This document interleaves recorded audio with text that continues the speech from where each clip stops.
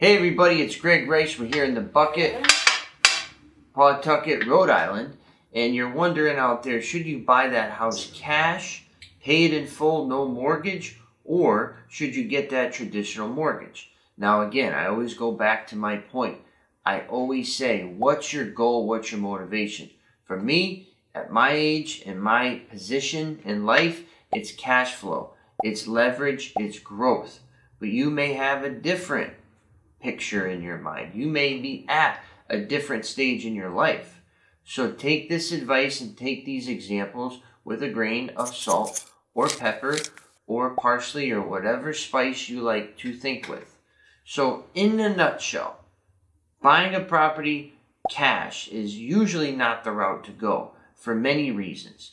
But for purposes of this video, we're going to do a simple example. We're going to talk about a $200,000 single family home. And I usually don't reference single families, but we're going to keep it very simple.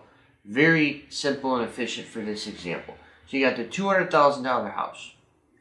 You got the 200 G's in your bank account. You can come to the closing table, drop a check down for that entire amount and never have to talk to a bank, never have to think about interest rates, never even have to think about getting insurance. Did you ever think about that?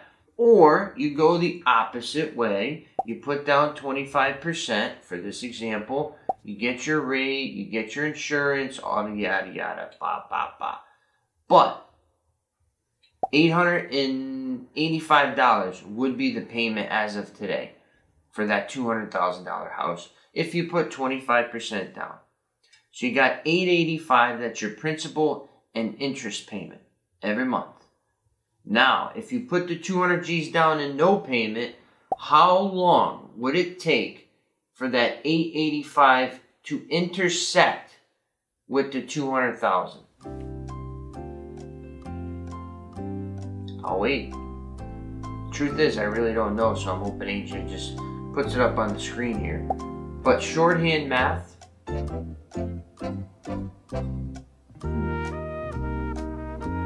25, 30 years.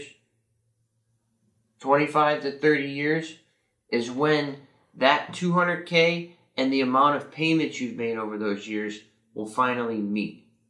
So the point of that and the importance of that for this video is you lost all the utility on that $200,000 once you coughed it all up and gave it away.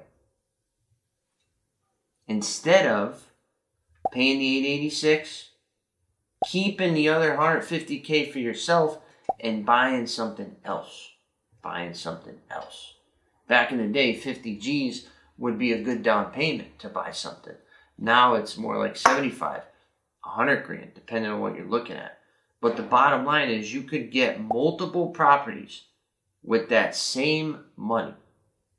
That you're not just giving it all away to one person and saying, oh, I don't have a mortgage payment. You still got taxes, you still got water, you still got sewer. You have things that are recurring anyway. You probably have insurance. So it's not like you're eliminating your housing expense, you're just modifying it. But if your goal is to continue down this path of real estate investment, you'll always want to spread that out. Spread out the money as many places as possible. Irons in the fire, right? And each one is paying you back if you're renting them out paying off those mortgage payments with somebody else's money. So that's the general premise. Nothing earth shattering. But consider, consider that 200K. What's your goal? Do you want it free and clear? No payments? Just own it? You're out? You're not looking to grow? Then do that. But most of us should be leveraging and putting down that money in as many spots as possible. And that's how I've been able to grow. And that's how I see all of our clients growing. They're cash out refining now. They're taking cash equity and using that as down payments too. So the fun never stops on the rental parties, right? It's it's a constant party of fun.